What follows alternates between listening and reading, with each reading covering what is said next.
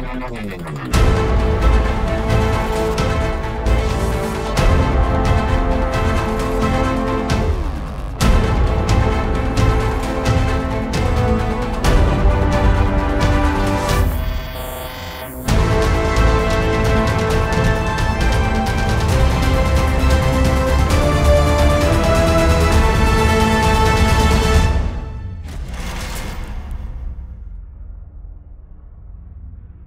Hi, everybody. Sean Woodland inside the CrossFit Update Studios, being joined by a woman who really needs no introduction, but we're going to do it anyway. She is a four time CrossFit Games individual competitor. She finished on the podium twice in 2012 and in 2014, and of course, had one of the most memorable regional performances in 2015 when she competed with a ruptured Achilles tendon. She is, of course, Julie Foucher. Thanks so much for being here. Thank you for having me. You, you made a pretty big announcement recently as far as competition is concerned. You're going to go team with CTOWN CrossFit. How did that whole thing I come am. about? Yes. So actually, we've been trying to qualify a team for the past couple years, and last year we missed it by a few spots, and so this year we made a much more concerted effort to get the team together and start training together before January, and we were able to qualify. So we're really excited to go and have a good time in Nashville. Now, you stopped individual com- competition because you wanted to pursue your medical career. Uh, You're still doing that, but where are you in that process? So I finished my last medical school class at the end of March, and now I have a little bit of time off. I graduate in May, and then I will start residency at the end of June.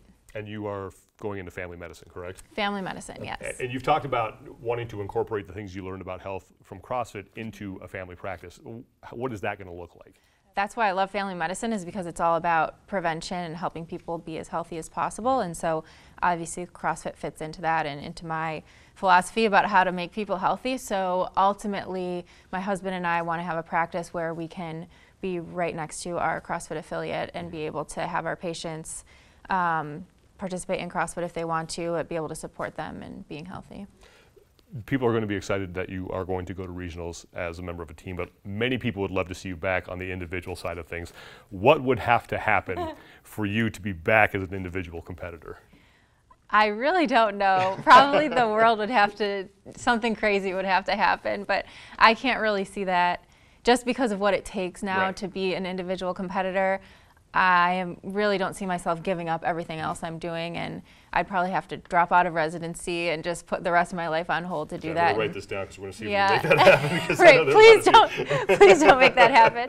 Um, so yeah, I don't see that happening. You had a pretty incredible run over the four years you were at the CrossFit Games, but a lot of people me- remember you because of what happened at regionals in 2015, competing on the uh, injured Achilles tendon. There is Julie Foucher, the number one overall seeding, currently sitting in first place with 180 points. That's a step and a go, a step and a go. Like this girl is on fire.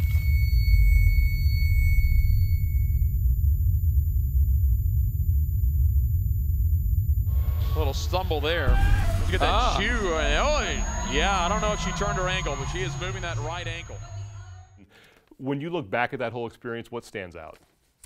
For me, it was that the reaction of the community. It was unlike anything else I've ever experienced. And you experience the CrossFit community in so many different ways in competing, but in your affiliate on a day to day basis. But for me, that was one of the most powerful moments of feeling like you're there in a vulnerable moment and there are people there who have your back who are there to support you and help you get through it. We can make that happen again if you just come back as an individual. We, will, we, will, we will set this up. But when you look back on your career as an individual, what, what are the things that you're most proud of? Wow, that's a tough question. I think probably one most proud of the way that I was able to compete while I was in medical school and balance those two things and be able to navigate those priorities in different ways at, during different years. And then also just the amazing amount that you learn going through that process of competing and how every year I evolved a little bit as an athlete and as a person. And I think that it taught me so much that I'm going to carry with me for the rest of my life. When you first started CrossFit to now, as far as the competition landscape is concerned, mm-hmm. how, how has it changed? Oh my gosh, it's crazy. I look back and I was th- I was talking to someone the other day who, you know, is an aspiring competitor and her her lifts, her max lifts are higher than mine were mm-hmm. when I competed at the games in 2010, but now that's not even getting you to regionals. So Yeah. just the amount of fitness that people mm-hmm. have gained in the last 5 to 7 years is unbelievable. So it's really exciting to see and I wonder, you know, it's going to be Yeah. cool to see where it goes. You have, you have a podcast called Pursuing Health that you do every other week. I do. What can people uh, expect from that coming up here in the next few months? Yeah, I have. Well, since I've had some time off school, I've had a little bit more time to be able to interview people in person and I have some really great episodes coming up leading into the CrossFit Games with Games competitors and talking about you know their process and some other things going on in their lives. Um, so I'm excited about those. But I also try to feature just regular everyday individuals who have really interesting health stories. So some of those good ones coming up too. If people want to listen to it or download it, where can Mm-hmm. they find it? You can find it on my website, juliefoucher.com, Okay. or on iTunes, YouTube, Stitcher, any other podcast.